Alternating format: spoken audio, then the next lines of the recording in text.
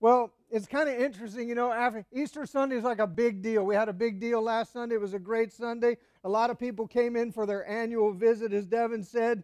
And, uh, you know, this week we're just back to regular church, but I'm excited about that. It's kind of interesting that there's like Easter Sunday, everybody gets excited about Jesus or something to do with Jesus. And then the next week it's just business as usual. But the reality is, for a believer, we learned this last week that every Sunday is Easter Sunday. Every Sunday is a celebration of the resurrection of Jesus. We're constantly celebrating the event that has baffled the world for 21 centuries that Jesus Christ rose from the dead.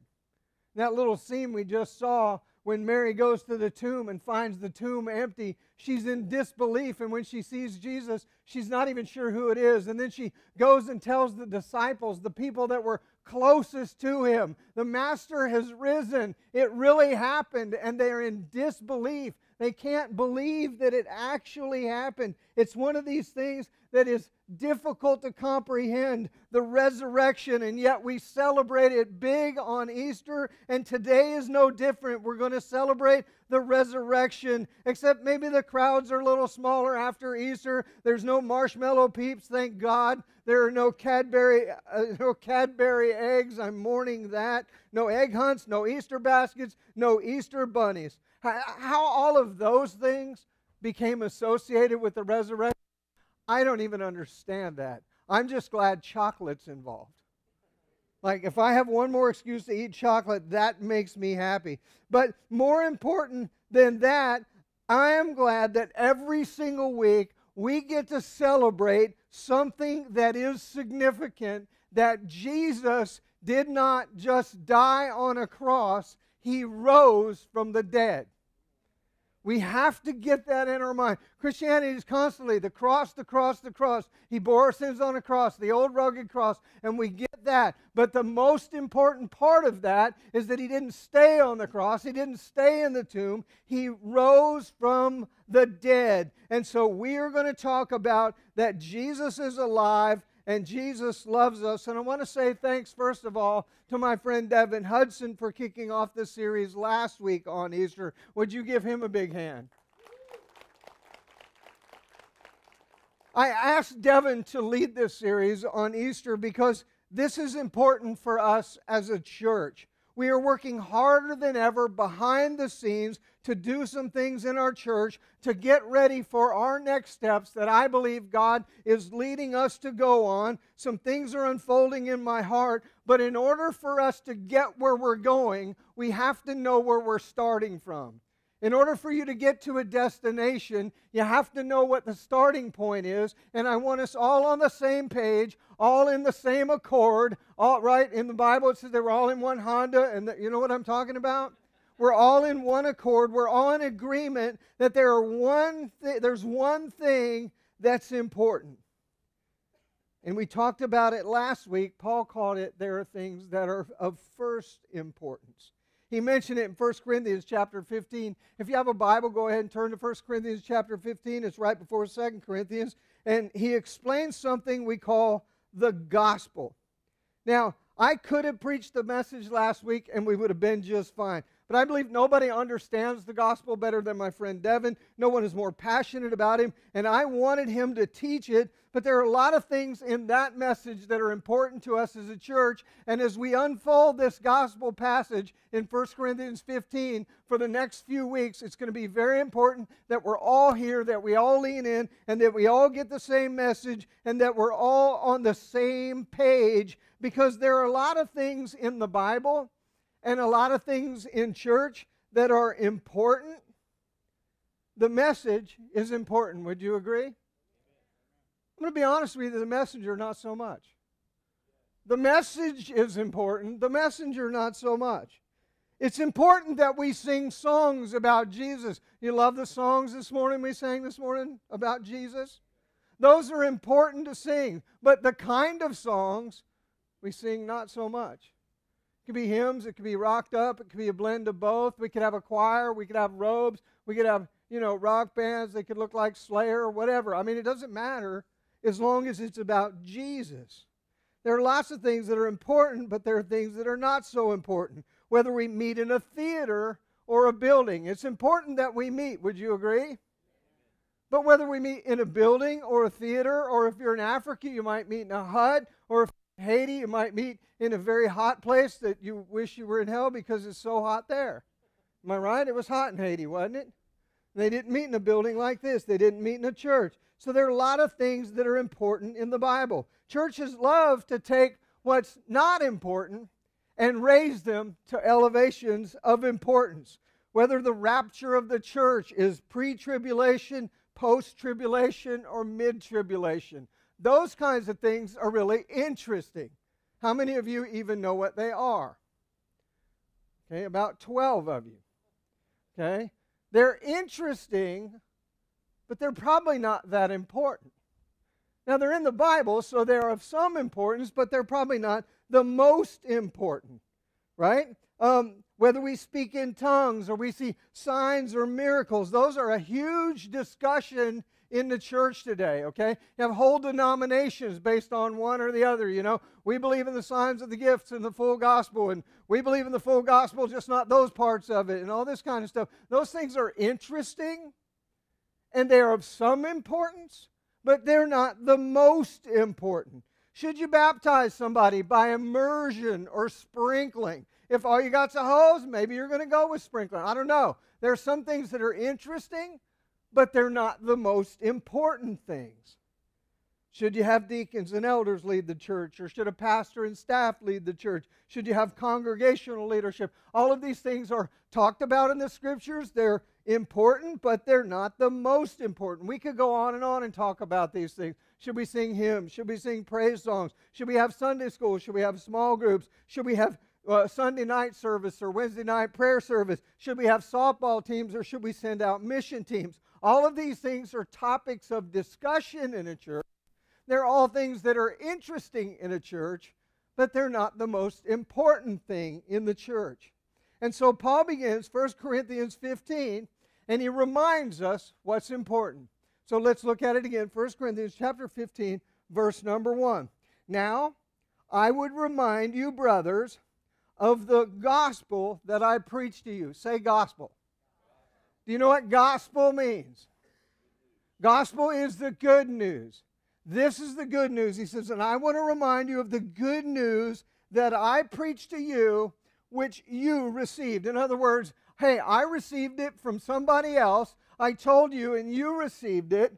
And now that's the gospel in which you stand, by which you are being saved, if you hold fast to the word I preached to you, unless you believed in vain. So he says, Hey, I want to remind you of something. This is the gospel, and here's what it is. He said, For I delivered to you as of, what's the next words?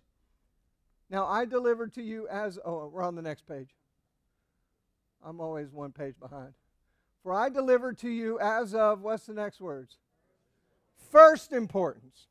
Not second importance, not kind of an important thing, not, hey, let's talk about all the other things churches like to talk about, and then we'll get to this gospel thing. He said, I delivered to you of first importance what I also received, and here it is that Christ died for our sins in accordance with the scriptures, that he was buried, and that he was raised on the third day in accordance with the scriptures.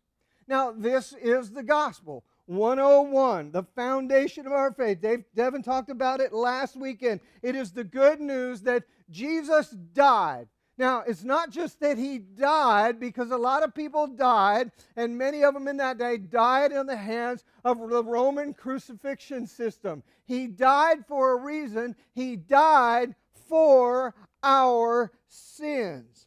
It is important for us to understand that we deserve to die, but Jesus died for us.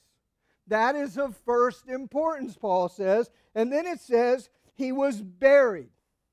For three days, he was in an airtight tomb. He didn't swoon on the cross and take a little nap and feel better later and come out and say, Wow, I'm not surely what happened. I don't really remember the last three days, but I'm feeling better now. Are you guys ready to start a movement?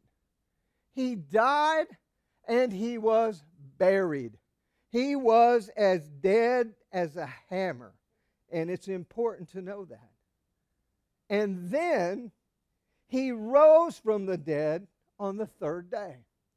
Three days later, just like he said he would many times in the scripture, he rose from the dead. He defeated the grave. He overcame death. It held no power on him because of who he was. He was fully a man, but he was fully God. And all this happened, Paul says, according to the scriptures. The scriptures, the Old Testament scriptures, the words that Jesus spoke were all about this event. And this is what our faith is based on the gospel, the good news. And it's what everything else we do in a church hinges on. It doesn't start with whether you like a certain kind of music, so that's the kind of church you're going to go to. It doesn't start with whether you prefer a certain kind of dress style, and that's the kind of church you want to go to. It doesn't start whether you like the personality of the preacher or mom and daddy went there or anything else. It starts with the gospel that Jesus died, he was buried, and he rose again the third day, and everything else that that church does flows out of that thing. Not only that, it's what our faith is based on. Everything we do in our lives as a believer and what happens. This isn't about just what we do together on Sunday. The gospel is about what happens on Monday. The gospel is about how we conduct ourselves on Tuesday and Wednesday and Thursday and Friday and Saturday. And then we come back and gather on Sunday and we talk about it some more and we learn some more about it so that every day that ends in Y, we can become more like Jesus. The gospel feeds everything. Paul says it's of first importance because everything flows out of it. It is the foundation of our faith and our life as followers. If I want to go to heaven, I need to understand the gospel. I need to understand that Jesus died for my sins, that he really did was buried in the grave. He really was dead, and he really did come back to life like he said he was or he, he was going to. It's foundational for me to go to heaven. If I want forgiveness of sin, I need to understand the gospel. I need to understand what happened when Jesus was b- put on a cross, that my sin became his sin, and God killed him on a tree, and therefore my sin died on the tree. The gospel is everything about my life. If I want my marriage to be heavenly, I need to understand what Jesus did for me in the church and how he treated the church and loved the church and gave his life for it. And as a husband, I need to love my wife like Christ loved the church and give my life for her. If I want a family that's functional and reflects God's intention for a family on earth, I need to understand how the gospel flowed out of a family relationship, the love of a father for his son my understanding of the gospel. Not just about the offering plate on Sunday, it affects my finances all the way across the board. It feeds into how I handle money, how I spend, how I save, how I borrow, how I give generously to ensure that others have their needs met. And the gospel is proclaimed and goes forward to other people who haven't heard. The gospel affects everything. And so it's very important for our church as we begin to take our next steps to understand the gospel. I've been telling you for some time now, God has been working in my heart for months. There are some things that are happening that I'm very excited about. And normally, when I get excited about things, I just go. I just load the gun and shoot the bullet and let's all go. Put up a slide. Hey, let's charge hell, man. Let's load the water pistol and let's charge hell. But God said, hey, slow down. Slow your roll.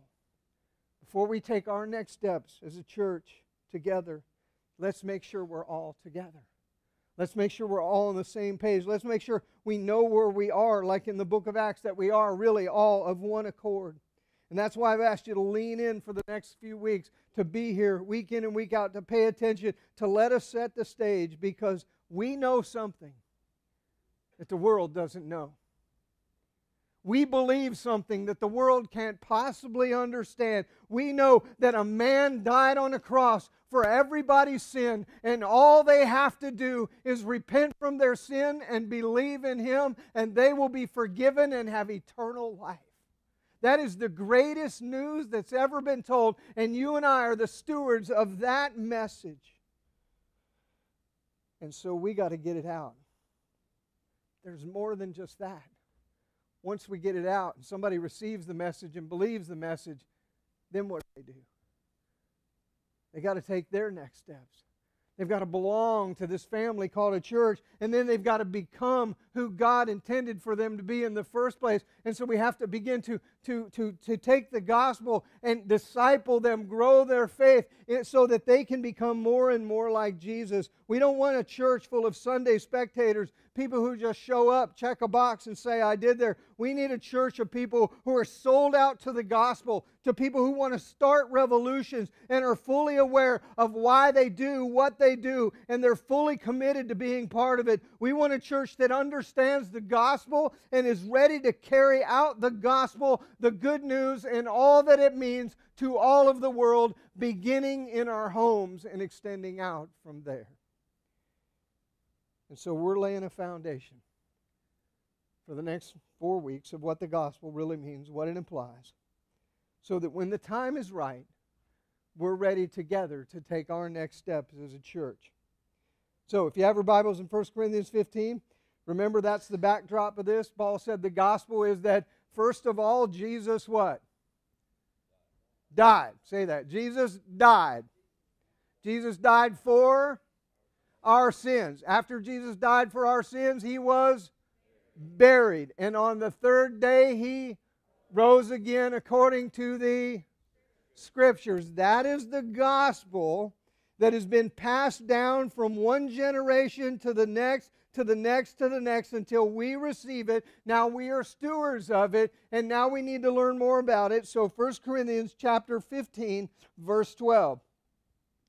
Now if Christ is proclaimed as raised from the dead, how can some of you say there's no resurrection from the dead?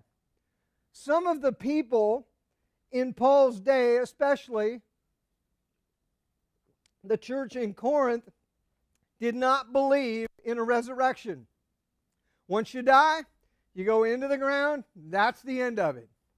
And so they taught that there was no resurrection, and there was no shortage of people who believed that. And because they believed there was no resurrection, they believed Jesus had not risen. Because if there's no resurrection from the dead, then there's no way Jesus could have resurrected. Now, Paul's letter is only a few years removed from the date of the resurrection. If you remember last week, Paul said that he said there were some people who saw Jesus. First, there was the 12. Now, when we think of the 12, we're like, well, didn't Judas die? He went out and hung himself, so he didn't see the resurrection. No. They selected another guy. They, they threw die, dice, cast lots, whatever that was. They chose a guy named Matthias. Those 12 people saw Jesus alive. And Paul says, if you don't believe me, they're still around. Go ask them. He said, not only them, there were 500 other people most of them are still alive. If you don't believe me, go ask them. They saw Jesus alive. 512 people saw him alive. And then he says something that's crazy. He said, And then I saw him alive. You got to get this in your mind. Paul is the guy who hated Christians. He persecuted Christians. He saw to it that they were imprisoned some of them impaled or stoned to death. He was like the ISIS of his day, trying to destroy Christianity. And he says, I saw him alive, and now I'm telling you, he was dead, he was buried, and he's been resurrected, and you should follow him. 513 people saw him alive. But some in the church are saying, no, he didn't actually rise from the dead. You know, there's people who say that today. Not just people who aren't Christians. People would call themselves Christians, even pastors, even theologians, even denominational leaders. They believe there was a Jesus. They believe he was some kind of a deity. They believe he was a prophet who spoke great things and taught us how to live on this earth, and that he did die a Roman crucifixion, but that's kind of where the story ends for them. They don't believe that Jesus rose from the dead physically. Many of them believe that his followers kind of just made up the story to perpetuate Jesus' teachings, or that their followers were so deceived by Jesus that when the tomb was empty, they just believed he rose. And so they believed it so much they propagated the story until other people believe it. But now here we are 2000 later and 2000 years later there are a lot of Christians who do not believe this. You say, "Well, how many is a lot?" It's a lot. I did a little bit of research in mainstream Christianity. Mainstream Christianity, 20 to 30% of pastors don't believe in the resurrection in some denominations, and you'll find many of them in the South, in the Bible Belt, 50% do not believe Jesus rose from the dead. Among Christians in America, or let me say among Americans, and understand when you ask Americans if they're Christians, 85% of them, whether they've ever darkened the door of a church or not, since they're not Muslims, they're Christians, right? 85% of them who who say they're Christians do not believe there is such a thing as a resurrection from the dead. 85%. That includes the ones who do go to church. They don't believe there is a resurrection from the dead. They believe that when the body dies, it goes into the grave and it rots. But you and I need to understand the gospel hinges on the literal physical resurrection of Jesus Christ. And so I'm going to look at Paul's logic and his reasoning here. First, he says, if there is no resurrection, there is no foundation. If there is no resurrection, there is no foundation for any of this. He says in verse number 12, Now if Christ is proclaimed as risen from the dead, how can some of you say there is no resurrection from the dead? If there is no resurrection from the dead, then even Christ has never been risen. I think I get why people might not believe in the resurrection. I've never seen anybody rise from the dead. Have you? I mean, I've been to a lot of funerals. I preached one yesterday.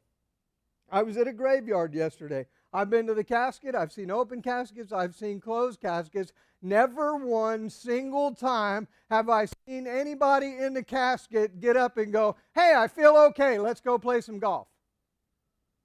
Right? Now, I've kind of always wanted to go, I think I saw his leg move. But I've never seen anybody get up. There's no proof in this world that a resurrection can actually happen. But Paul says if the body doesn't resurrect, and that includes all of us, if our bodies will not resurrect, Jesus had a human body. And if a human body cannot resurrect, then Jesus did not resurrect. And if Jesus did not resurrect, then we got a serious issue because Jesus said, If you destroy this temple, meaning my body, in three days, I will raise it up again. He said, As Jonah was in the heart of the earth for three days, or in the belly of a whale for three days and three nights. The Son of Man will be in the heart of the earth for three days and three nights. He says, I am going to rise from the dead. If there's no resurrection from the dead, Jesus didn't rise from the dead. And if Jesus didn't rise from the dead, then Jesus is a liar on at least two accounts. And maybe more. And that makes the whole thing a lie. The resurrection is the foundation of it all. And it's like a house built on sand, and if water washes it out, what does it do? It crumbles, it falls. Without the resurrection, Jesus is no different than Buddha. He's no different than Hare Krishna. He's no different than Mahatma Gandhi. He's no different than Muhammad. He is just another dead religious leader who taught us some pretty good things to tell us how to live on this earth, but he gives us no way to get from life on this earth to life after death. The whole thing crumbles on the resurrection because there's no foundation. Second, if there's no resurrection, there's no faith. If there's no resurrection, there is no faith. Verse 14 goes on to say, And if Christ has not been raised, then our preaching is in vain and your faith is in vain. We were even found to be misrepresenting God because we testified about God that He raised Christ, whom He did not raise, if it's true the dead are not raised. For if the dead are not raised, not even Christ has been raised. Now, that's kind of a long way, and Paul's kind of legal and he kind of thinks really big of saying, hey, if there's no resurrection, then Jesus didn't raise. If Jesus didn't raise, then guess what? We're all in trouble. There's no reason for your faith. We're preaching in vain, and your faith is in vain, and you're really, really hosed. It's a Greek word. Hosed.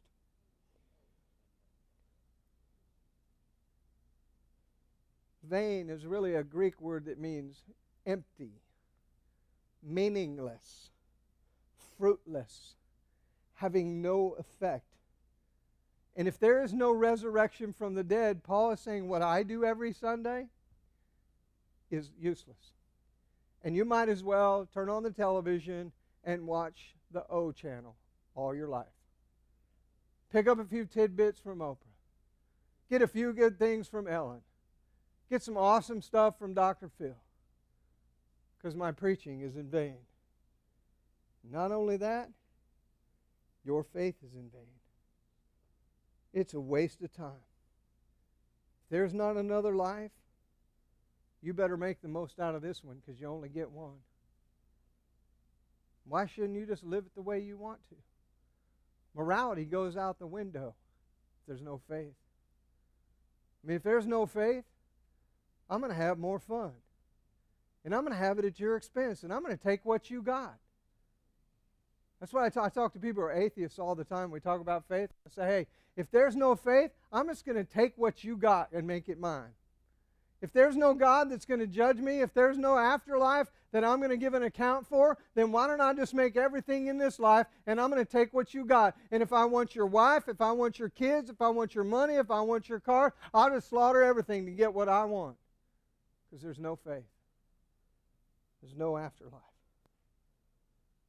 Even if Christianity was a good religion,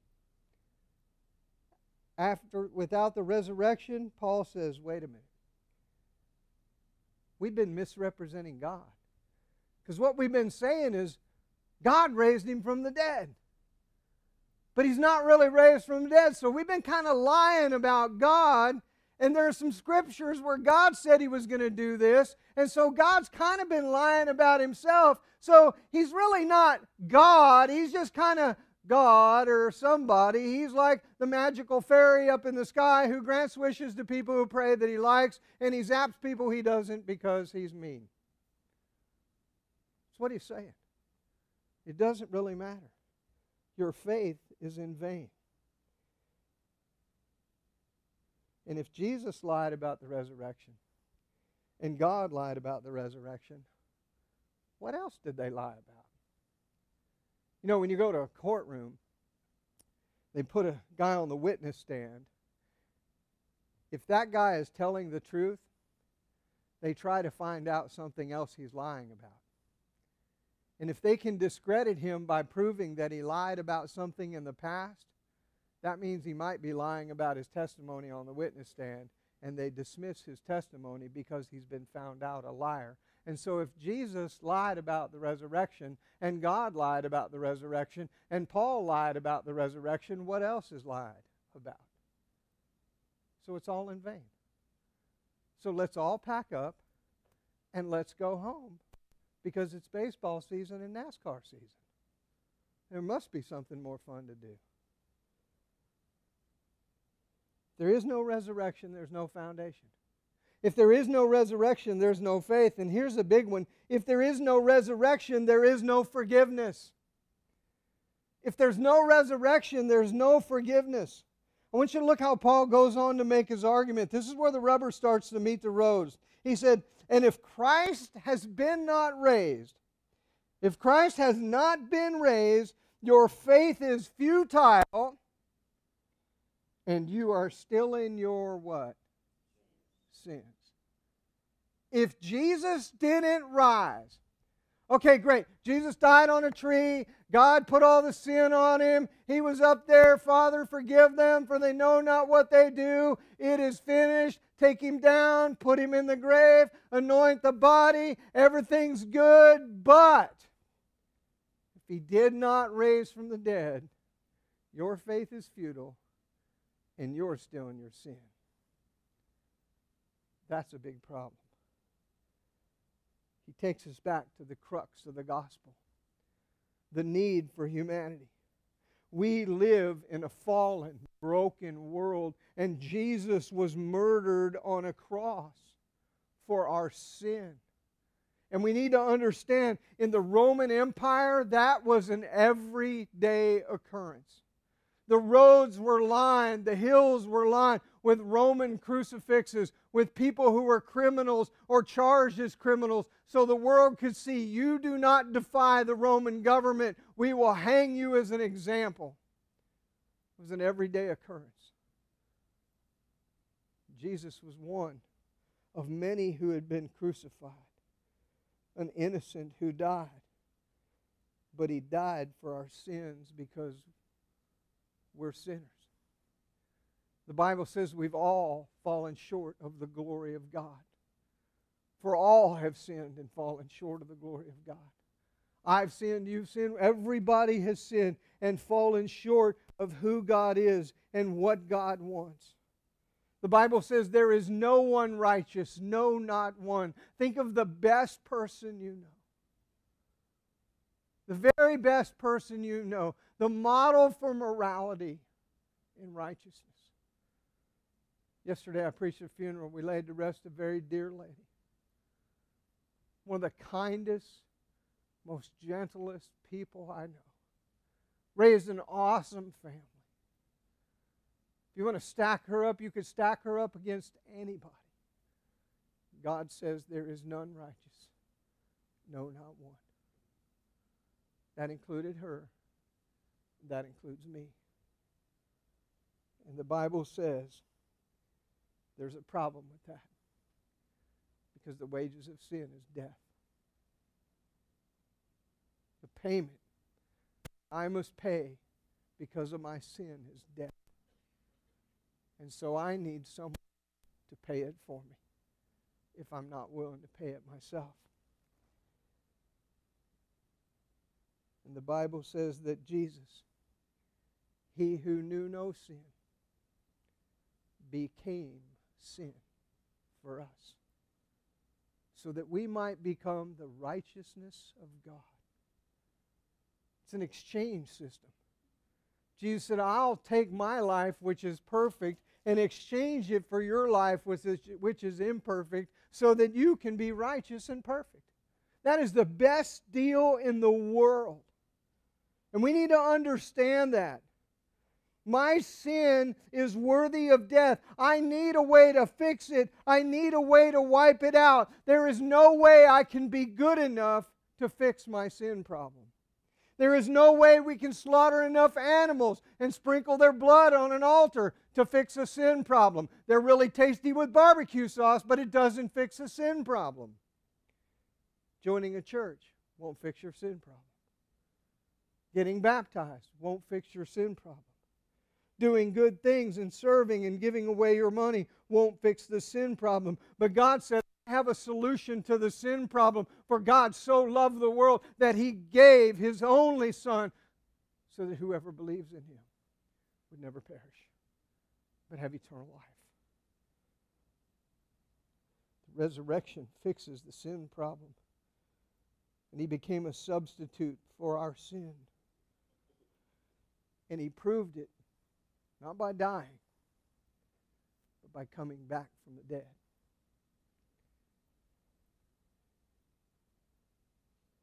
So, with the resurrection, I can be assured that when I trust Christ's work on a cross, that He became sin for me, I have forgiveness of sin. And understand this. This is something you should write down or tweet or Facebook. Because of His life after death that I have forgiveness, not because of His death after His life. It's not because of his death. It's because of his life after his death that I know I have forgiveness, that I know I'm going to heaven because I know I'm coming out of the grave one day. You see, that's the last thing. There's no resurrection, there's no future. There's no resurrection, there's no future. Paul says, without the resurrection, there's no foundation. It hinges on it. He says, there's no faith. It hinges on it. We might as well believe in the Easter bunny. There's no forgiveness. We are dead in our sin. We are doomed to die. But that is not the end. He says, if Christ be not raised, look at this, verse 18. Then those who have fallen asleep in Christ, those who are believers, who have died, have perished. They're gone. If in Christ we have hope in this life only, we are of all people most to be pitied. If Jesus didn't rise from the dead, I have no hope for a future. But because Jesus rose from the dead, I got hope for a glorious future. Yesterday, I had the opportunity to preach a funeral for a dear friend. Paul Pittman, many of you know him. His mother passed away. I've done a lot of funerals as a pastor of Revolution. I don't like doing them. They're better than weddings. At weddings, people kind of get upset. They find something wrong. Usually there's two people that are mad the bride and the mother of the bride. Funerals are way better because everyone is sad and you can say anything and it'll make them happy. They don't complain that you did a bad job. One time I was doing a funeral, and you know I use my iPad instead of a Bible. It's just easier for me to read on that for some reason. And I was doing a funeral, and I didn't want to take my iPad out to the gravesite, so I pulled up the scriptures on my iPhone. And I was about to do the funeral, and I turned around, and you know how they put at the graveside this fake carpet around the, the hole in the ground? and I tripped and I dropped my iPhone in the grave under the casket.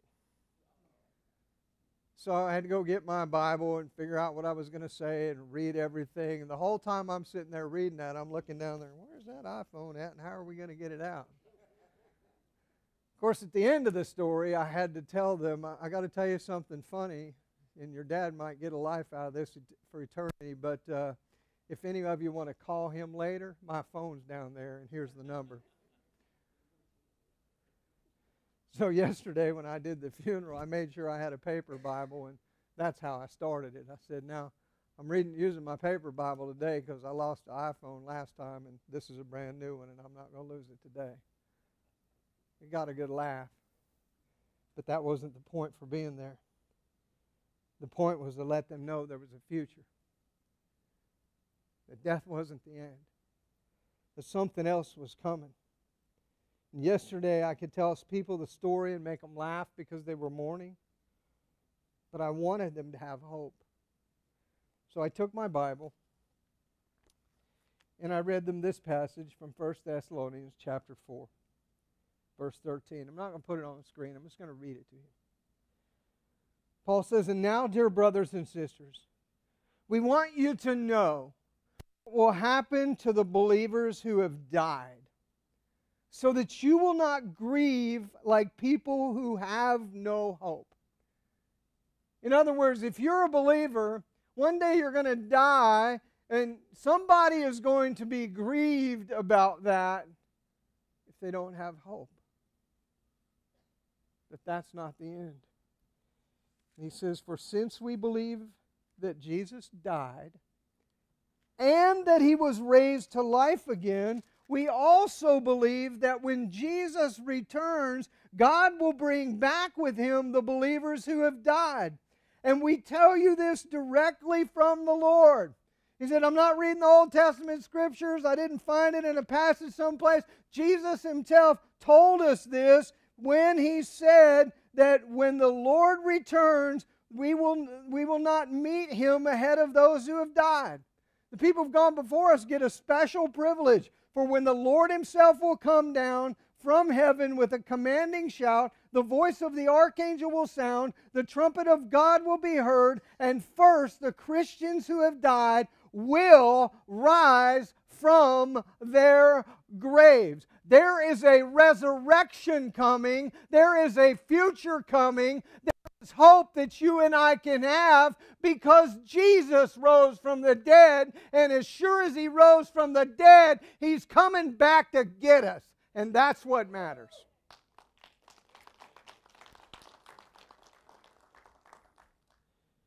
And the question is, what are you going to do about it? Just come to church, sing some songs, go home? Maybe there's something else we should do. Back in the 80s, there was a little movie called E.T. Everybody remember that? E.T. Phone Home. In the movie E.T., the government got a hold of him, experimented on him, and E.T. died. Elliott was a little bit sad. I want you to see what happened at the end. Spoiler alert.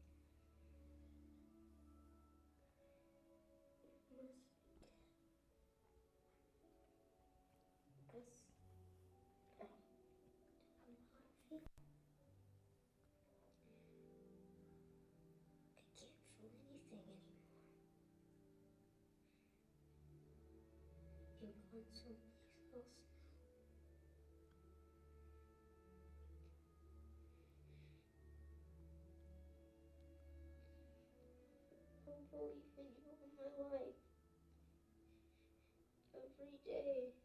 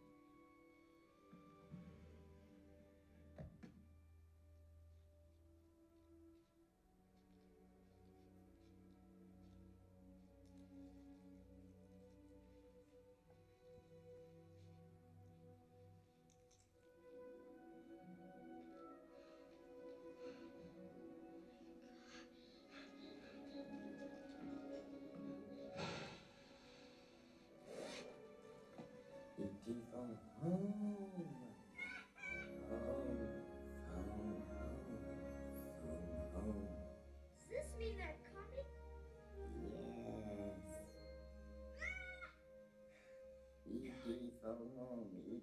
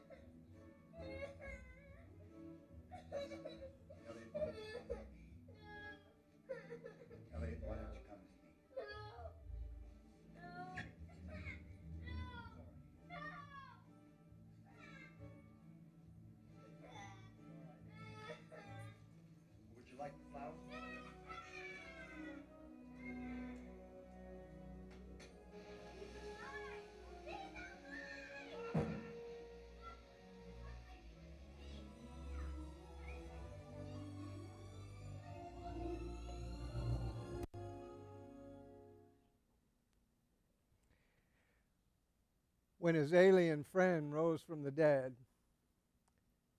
he had to tell somebody he's alive. He's alive. He's alive.